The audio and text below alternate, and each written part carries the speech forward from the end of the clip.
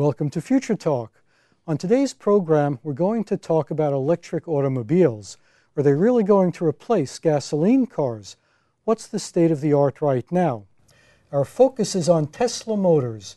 Based in Palo Alto, California, Tesla is the leading automaker that only makes electric cars. With me in the studio are my two guests. Ali Javidan runs the prototype vehicles group at Tesla, and he played a key role in the development of the Tesla powertrain. He'll talk about Tesla's technology and its plans for the future.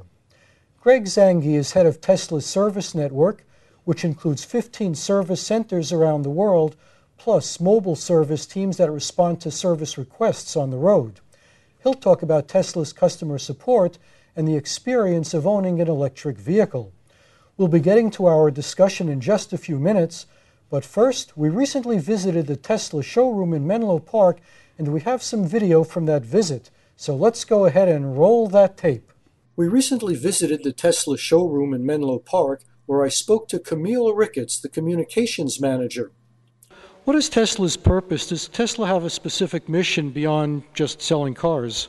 Absolutely. Tesla Motors was founded in 2003, and really the mission behind the company was to make more and more electric cars available for the general public and to generally drive down the cost of electric driving for everyone.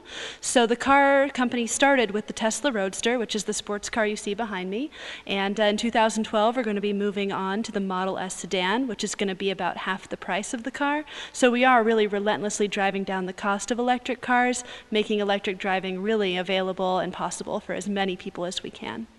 Now, Tesla has a lot of competition. You've got the big automakers Ford, GM, Toyota. What competitive advantage does Tesla have that those other big automakers would have trouble matching? Well, we're actually the only electric, fully electric supercar in the world today. We were the first electric car in serial production on the road. So we have a huge lead when it comes to EVs.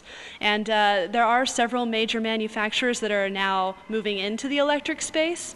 And really, the Roadster was the catalyst, I think, in a lot of ways for the industry to move in that direction. Uh, so we have even the big guys, the GMs, the Fords, following our example.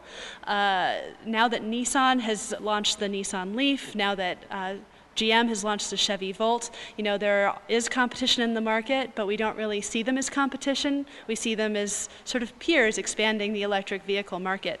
So we're excited to see EVs catch on no matter who's making them. It takes a huge amount of capital to manufacture cars. Does Tesla have sufficient funding to uh, get in the mass production market? We are extremely well capitalized. We've gotten good, generous loans from the federal government in order to make electric driving, uh, good, clean electric driving, more democratic for everybody. Uh, so we have millions of dollars at our disposal, and we feel perfectly confident that we'll put mass production into effect here in the next year and a half. After the interview, Camille took us to an assembly room behind the showroom where Tesla Roadsters are put together by installing the battery and engine into a car body that's produced elsewhere. Here we are standing in front of one of the battery packs. So, what we call the glider, which is really the body of the car with everything except the battery, the transmission, and the motor, uh, comes to us from England, the Lotus facility in there where Lotus builds uh, that piece of the car. And then it's shipped here to Menlo Park. We build the battery packs and the powertrains up at our headquarters facility in Palo Alto. And those items are then shipped to the Menlo Park's uh, location as well. And then the battery is actually jacked up into the body of the car. The powertrain is lifted in we connect all of them electrically, and, uh, and you know, you, you lower it, you reassemble the suspension, and you drive off. So this is a battery right here. This large black object is the battery. This is what it looks like outside of a car. And that fits in the back of the car, and basically you just drop it in and fasten a few connectors, and you're done. Is that right? That's pretty much what, what you do. And uh, it's a large black box. There's really nothing that you need to do to it to make it work. And uh, it comes with a charge. And yeah, it's uh, it's a heavy but extremely advanced piece of technology. I would say it's the heart of the Tesla Motors technology. Okay, so so this is the actual motor, right? Right. This is what we call the drivetrain. It's uh, comprised of two components here. We have the gearbox, which other people might call a transmission. It's a single speed gearbox. And uh, then on the other side of that, the cylindrical piece that you see right there is the motor. And it's a standard, well, not, I wouldn't say standard, but it is a uh, improved upon AC induction motor, which is, of course, how Tesla got its name because that was the signature piece of technology pioneered by Nikola Tesla in the 19th century. And this motor was designed from scratch by Tesla itself? It is. It's all designed, all engineered, and built by Tesla. We also visited the service area where I asked Camille what happens in a typical service visit typical maintenance session really requires an update to the firmware, which is really an interesting disparity between the Roadster and regular internal combustion engine vehicles. A lot of what we do with this car, or a lot of what makes this car better, is software based as opposed to hardware. So uh, most of the time, people come in, they inspect it to make sure that uh, everything is working properly, and then they just update the firmware like you would your computer. But as far as testing belts and drives and fluid levels, you don't really have to do that so much? There's really not a whole lot of that to test. Uh, there's no oil involved in this car. The liquid cooled battery pack lasts for years, so that's not really an issue. There's just not that many parts that you need to replace or worry about breaking down. Is the battery expected to last the life of the car? Well, that depends what you want the life of the car to be. Right now, the battery life is anticipated to be over 10 years. We do have a seven year warranty on the battery, but that's really just a contingency. The cars haven't been around long enough for us to really know how long the batteries will last, but we have every reason to believe that over a decade of ownership. How much does the battery weigh compared to the rest of the car? That's a great question. The battery actually weighs close to 1,000 pounds, uh, over 900 pounds, and uh, the car itself weighs 2,700 pounds. So the battery is actually almost half the weight of the vehicle, and uh, that's actually an advantage for the Tesla Roadster because that battery is over the back axle of the car, and since the Roadster is rear wheel drive, that gives it a lot of stability and a lot of stiffness uh, that it might not otherwise have. That was some of our footage from the Tesla showroom, and we'll have more footage a little bit later on in the program. Ali, what would you say is the principal advantage of an electric car, aside from the fact that it's less polluting? Why would a car buyer choose an electric over a gasoline powered? Well, they're, they're generally much more reliable because they have far fewer moving parts. Um, they're also uh, a lot easier to service, as, as you heard before. Um, Service doesn't involve things like a timing belt or an oil change. Uh, service involves just kind of a, an overview of uh, the state of the, the, the, chassis and, and the powertrain and maybe a software update to the car. Um, the car is exceedingly easy to drive on a daily basis. Um, you don't you know you don't have to worry about shifting if you have a manual car. You don't have to worry about warming the car up on a cold morning. You just get in and, and drive. Um, for acceleration from stoplight to stoplight or through traffic. It's it's extremely effortless to to just kind of give a little bit of pe- pedal effort on the throttle and and you're zooming past 99% of the cars that are on the road.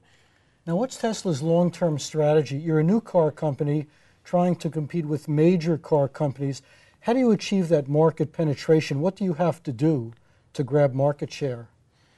Um, we have to consistently del- deliver uh, higher quality and, and more advanced technology quicker than our competitors. Um, we're able to do that because we are a highly vertically integrated company. Uh, we do everything in house from software to hardware uh, to manufacturing. Um, and that, that really helps us gain a competitive edge against, uh, against other competitors. How do you see the future of your battery technology? Because that's really the heart of the whole thing. Do you need order of magnitude breakthroughs to really get deep market penetration, or is this a, a slow incremental process of improvement? Uh, I think I think the best way to move forward is the the incremental uh, improvements to the technology. Um, large kind of order of magnitude improvements tend to be less reliable, um, less safe. Uh, as you may know, safety is a, is a, huge thing for, for Tesla Motors and especially our battery technology. Um, and to make the incremental changes, we find that because we are already so far ahead of the rest of the, the, uh, the game. Um, we were able to make these incremental changes, continue to to be leaders, uh, to and to create a safe, sustainable uh, product. Now, are other companies also working on this battery technology? Nissan has an all-electric sedan, the Leaf, uh, which uses no gasoline. Do they have as many people working on batteries as you do, or I mean, how are you able to jump ahead of them? Uh, I'm not sure uh, how many people Nissan may have, uh, but I know that we have uh, a very dedicated, hardworking team of engineers and technicians um, that are continuously working. We have we have uh, labs and, and tests that are going around the clock, seven days a week, um, 365 days a year, to to not only test our current battery technology, but also test and validate future battery technologies. Now, do you also need a large infrastructure to charge the cars. Uh, one of the issues around electric cars is that they normally don't drive as far as a gas car on a tank of gas, and it takes a longer time to charge them. How do you overcome those difficulties? Well, the great thing about our cars is that the the charging uh, unit is on board; it's on the vehicle. So, um, rather than having uh, uh off-board charging, where you may need a, a special device that's plugged into a building somewhere, we, we can charge on anything from a standard home 110 volt outlet all the way up to uh, a high powered charger, uh, 240 volts at higher current.